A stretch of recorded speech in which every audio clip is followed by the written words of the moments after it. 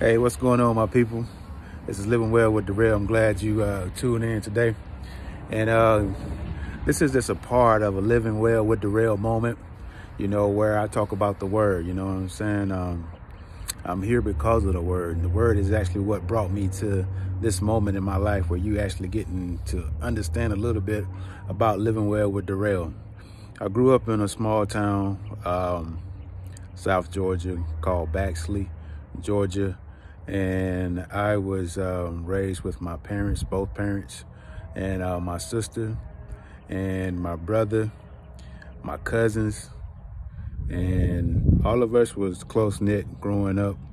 We all grew up in a kind of like in a community where we live really like across the street from each other.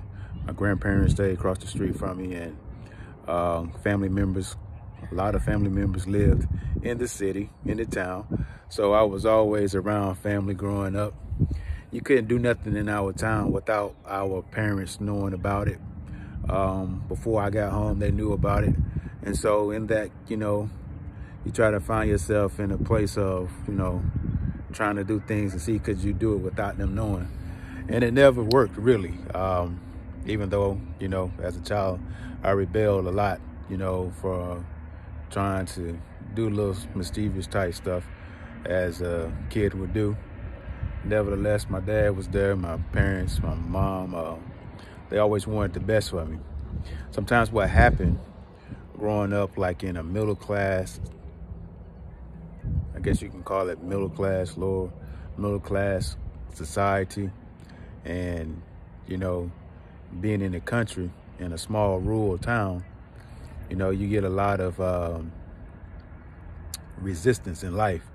You know, seeing the uh, spirit of poverty, seeing being in a place where, you know, you see wealth, but you don't really experience it with uh, the monetary type things. And everybody want money, you know, but at the same time, we were rich in relationships to be able to grow up in a community that loved us and a community that showed us that there was a better way in life, the community that was built upon the principles of the Bible. And um, I grew up Baptist, you know, so it was really good. I, I learned a lot through the Baptist faith and believing, you know, and then I realized that, you know, there was a lot of things in that I had learned and seen that shaped my life. Uh, being Baptist, being um, in that particular uh, environment as a Baptist, and I used to hear them always talk about a relationship opposed to being uh, a, a, person of religion, you know, have a relationship with God. And so my relationship with God was focused on, you know, going to church. Man, we would be at church probably about a couple times out of the week, you know, Wednesday night Bible study.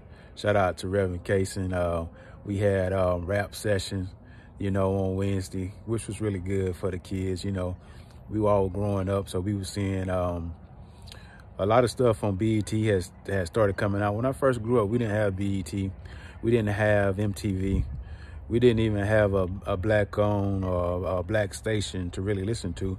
So we listened to a lot of country music. We listened to uh, a lot of gospel music. You know, uh, you know they had stuff on there back in the day. You know that we listened to.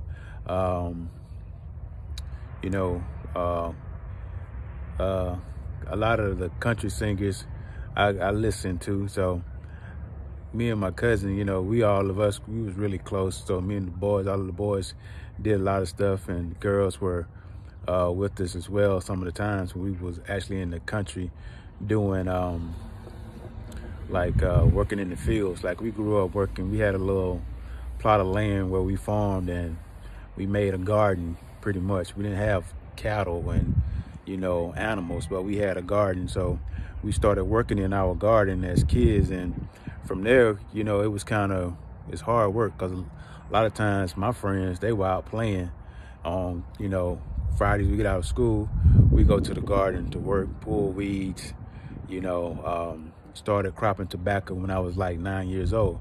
And from there, you know, sucking tobacco, taking the, the uh, suckers out of the of, in the spring of the year, which is coming up. And from there, we were, um, you know, prepare, you know, the racks and stuff and get everything ready at the barn and um, get out into the fields. And we would, you know, do like 150 uh, to 125 barn rack, sometime a 200 barn rack. And some of the racks will weigh like a couple hundred pounds just because it got tobacco in it that's green. And so you got to pack the racks in order for it to make it, you know, weigh so they can get their money when they're taking it to the uh, barn and, and, cook it out. So it'd be a pretty full rack when they make the sheets. And at that time, they was paying me and my cousin, you know, like three dollars a day. You know, uh, we were young, nine years old, walking the back of down to get the pack it in more. And it was really, you know, um, a time in my life where I really had fun and at the same time I had resistance because I didn't really want to get up every morning at five o'clock to go to work. Um, so it got better as I got older because we made a game out of it. We would wrestle and we would do all kind of things like that. So um, had a lot of people that were, you know, using uh, illegal substance, uh, working with us. You know, generally that's what you find in, you know, in your uh, manual laborers in the field. You know, your field workers are usually um, been abusing some kind of substance for some years, and now they resort to uh, doing that type of work, not because they're bad people, because they made bad decisions. So a lot of times, me and my um, cousins, uh, we would, you know, take their place because we were in our right minds, young and ready to uh, work. So it was really interesting as our uh, friends began to get involved.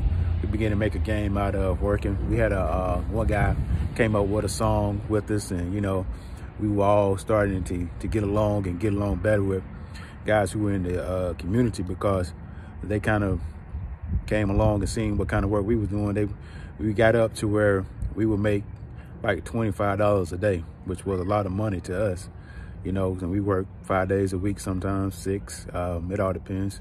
And from there, you know, you make you, you know, you make $125 a week. You got to pay your own school clothes and stuff like that. So it was really good teaching us responsibility, you know, from a different standpoint and also how to do manual labor.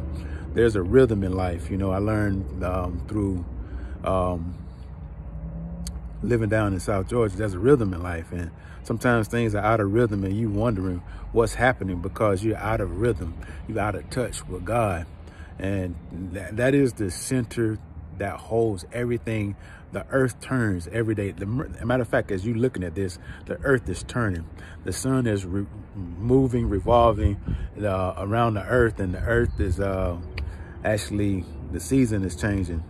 So as we get ready to prepare, you know, in the winter for that, you know, spring season, you know, you have to ask yourself, what is it that I can do in this time, in this spring that I didn't do last year to get the results I was looking for. Some have died. A lot of people have died this year and last year, you know, whether it was COVID or other illnesses, you know. So you got people who were in your corner, in your circle, who are not here this year. So I'm asking you, you know, what is it that you want out of life? Because you may not have that accountability anymore. But God has still called you for a plan and a purpose.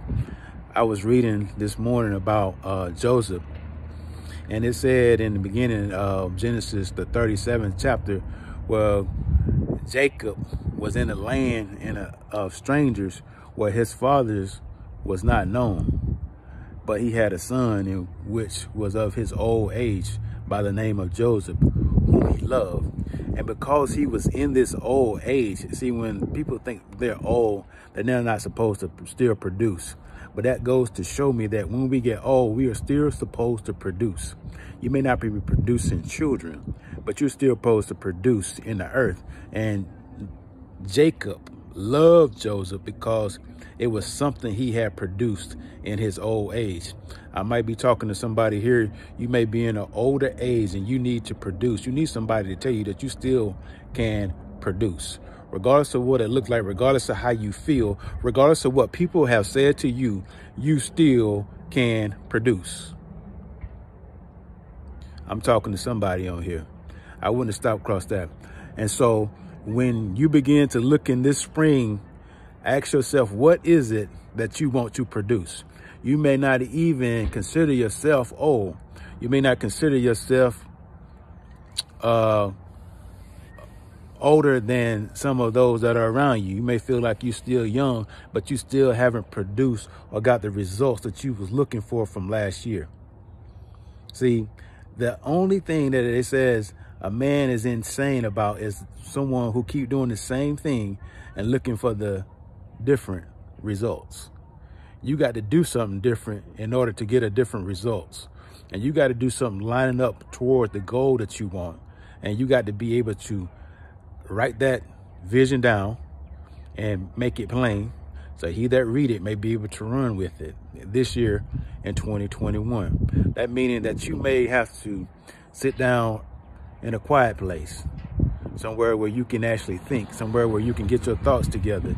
I don't care if it's in the bathroom. I don't care if you have to do it, you know, in your closet. But wherever you have to do it, that library is not open, so you got to go somewhere where you can sit down and write down what you want. Child of God, because see, the enemy can't read. Say that again. The enemy can't read.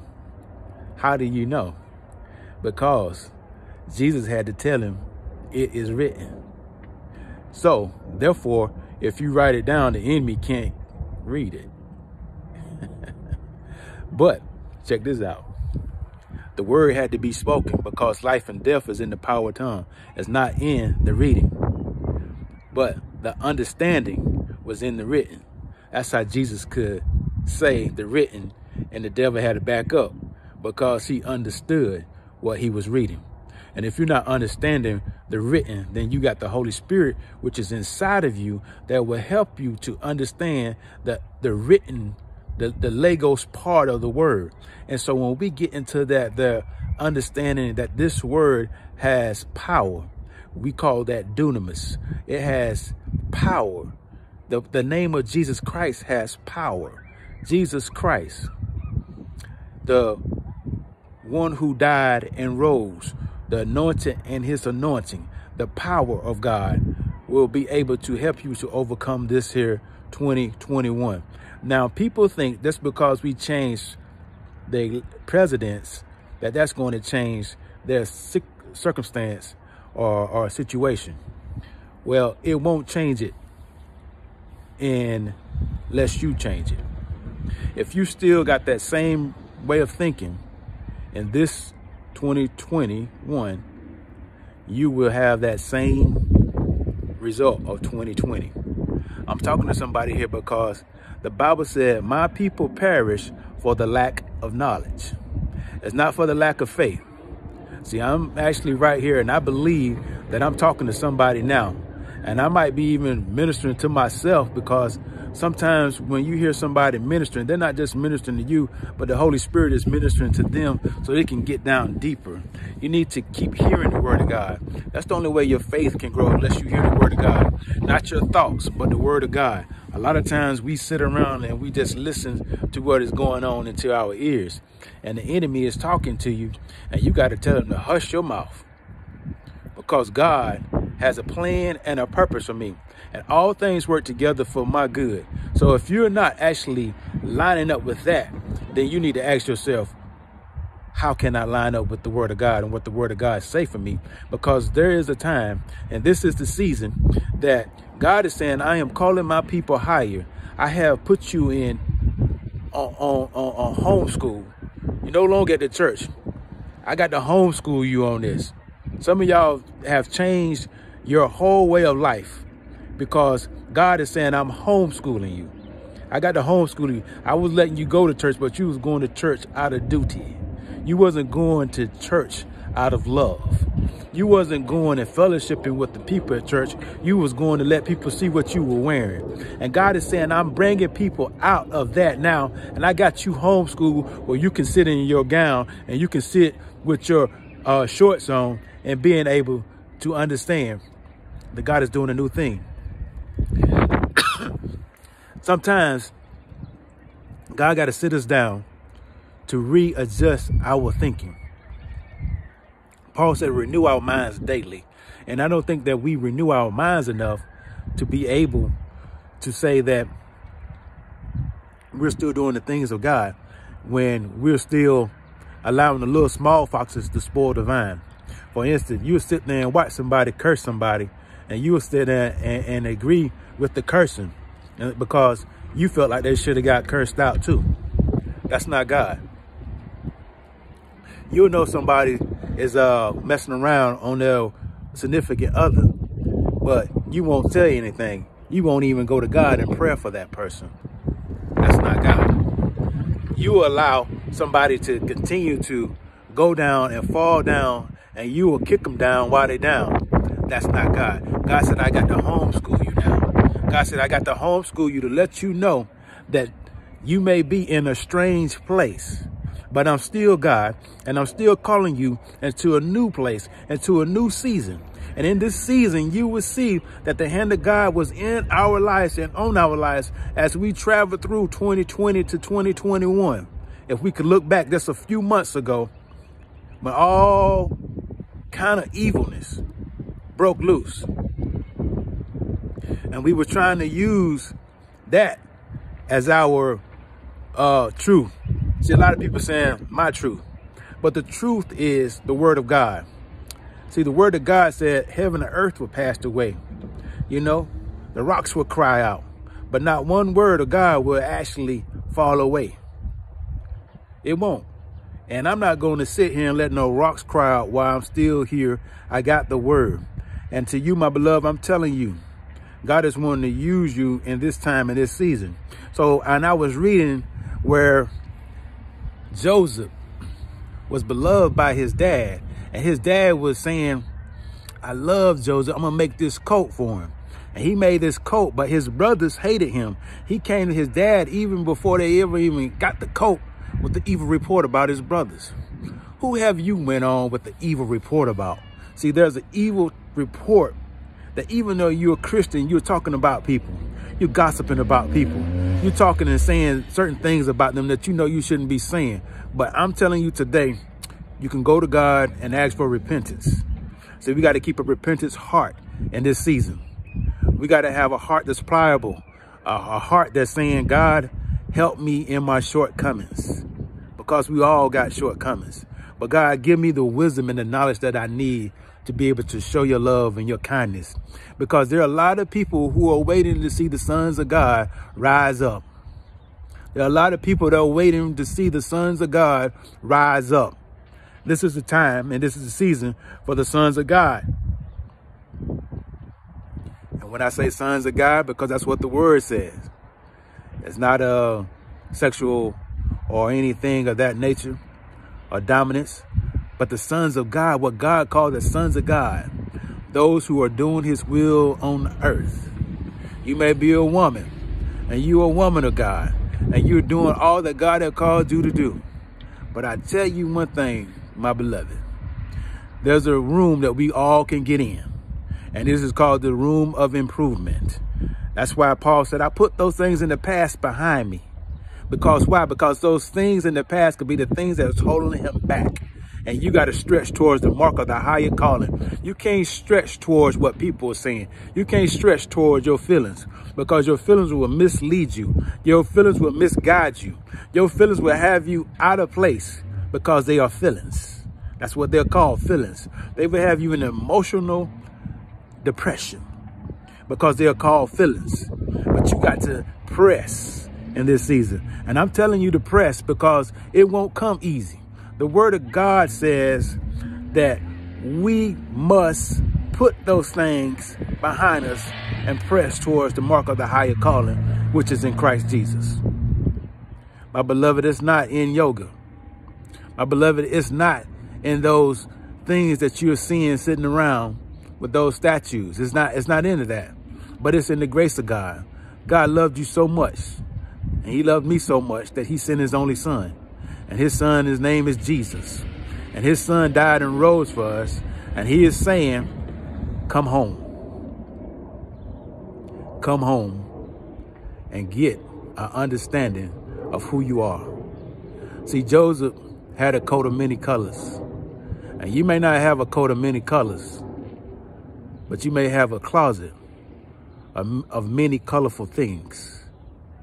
And God is saying the significance on that is his brothers and everybody who saw him, they knew who he was before he ever got to him.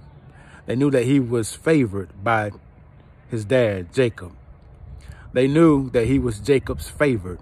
They knew that he was blessed by Jacob. They knew because Jacob's name was already in the land. So as we I looked on down into it, there was an anointing. And I'm going to speak this. This got to be an anointing on your life this year. You got to have this anointing to be able to accomplish great things. So Joseph began to go and take his father's flock and he was out with his father's flock and his brothers left to go to Shechem. And in this time, as he was, they were there, he came to his father and said, his father said, I need you to go down to your brothers and take some food down to them. And he went. And when he got to the first place, he did not see them. And the man said, they have left. So he had to keep going, but they saw him coming from a distance. And they said, here come this dreamer. Now, if you was to go back a little bit and look up, you'll see that they said that because he had told them in a dream that his sheaves was actually standing up amongst theirs and theirs bowed down to him. And, and Jacob, he told him also. And Jacob rebuked him because he didn't believe what he was saying was true. Sometimes somebody ain't going to believe every time what you saying is true. Everybody's not going to understand what God is showing you in this season. So you're going to have to move sometimes by yourself. Uh, they used to have a song said, I will go if I have to go all by myself. Now, I'm going to tell you, sometimes you will stand alone, but know that you're not alone. Because God said, I will, Jesus said, I will never leave you nor forsake you. So here it is.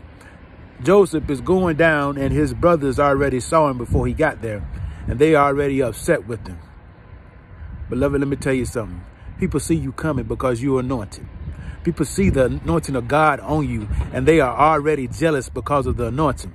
See, but the anointing cannot be hid. You can't take the light and put it under the bed and have it on and not nobody see it. Some of y'all already know you have your phone on at night and your wife or your husband in the bed and you trying to look at to see who done text you and the light wake them up. So you know that you can't take no light and hide it and be in darkness. It's going to be the smallest light will be seen in darkness. That's why I'm here today because the smallest light I want you to be able to see, you need to come on home. God got something great for you in this season and this time. Even though people see you coming this week as you getting ready to go about your week, God already done planned a purpose for your life. He already have it in place for you this week. But you got to receive what God has already done. If you don't never receive anything from God, know this. God will still have his hands out waiting for you to receive. He's not like man where he would take his hand back because you didn't receive it on the first time. He is here again calling out saying, my beloved, I wish you come home. I wish you come home and understand that I have a plan and a purpose for your life. So Joseph brothers wanted to kill him. And his brother Reuben had said, nah, let us not put our hands on him. Let us uh, put him in this pit. And in this pit, he began to see that there wasn't no water or anything happening in that pit. So they put him down in that pit. And as they began to walk and talk, they began to talk to each other. And Joseph was brought up by some other people as his brothers were gone. His brothers didn't know he wasn't there.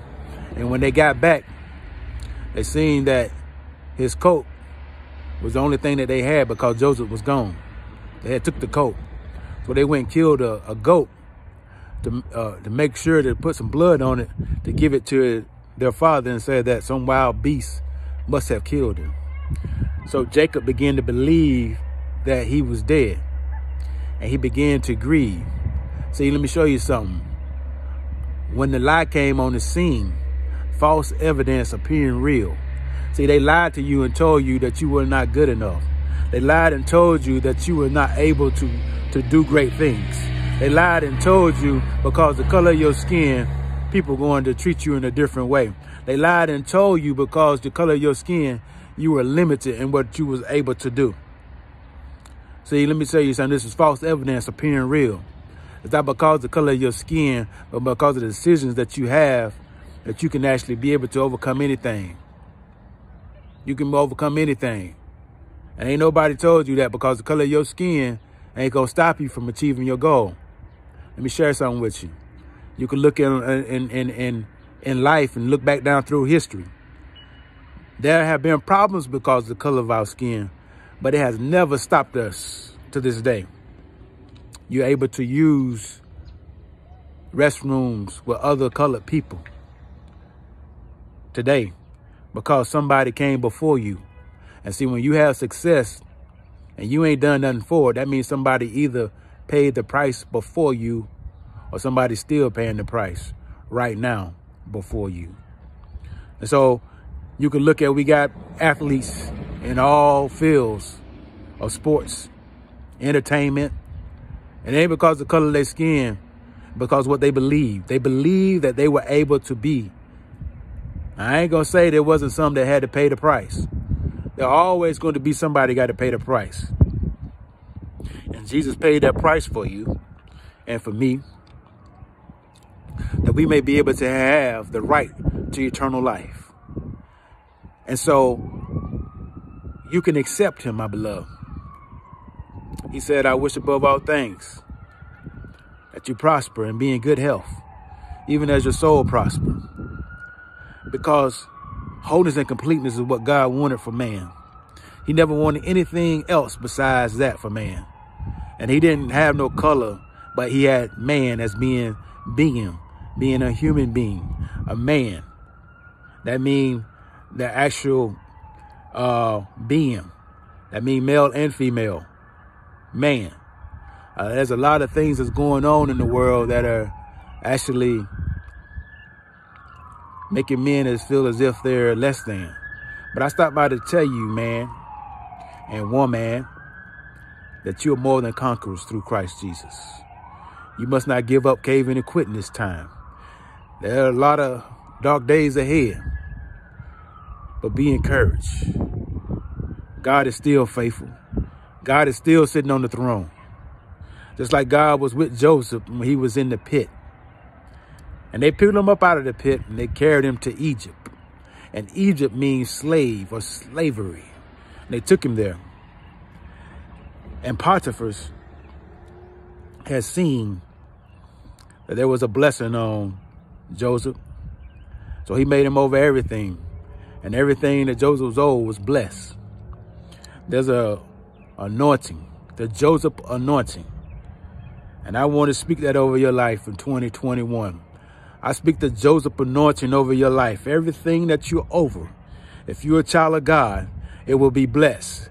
I speak the creative anointing over your life that you will have the ability to create because you was created and made in God's image and likeness. The word create means baraha in the Hebrew. You are able to create. I declare you will be able to do great things regardless of what the social media say, regardless of what the internet may say, regardless of what the actual circumstance may say, regardless of what the news may say, regardless of what your mama and daddy said. I speak the word of God of your life. You will have that Joseph anointing, that anointing that will be able to make you be able to come up you will begin to see that job that you've been waiting on. You will get that job and you will have an anointing to do that job that nobody else was able to do it like you have done it because I spoke this anointing over you. And I declare and decree that it shall come to pass that you will be able to do great things this year. Beloved, and because of that, you will give God all the praise and the glory. Be it now unto you, according to God's word.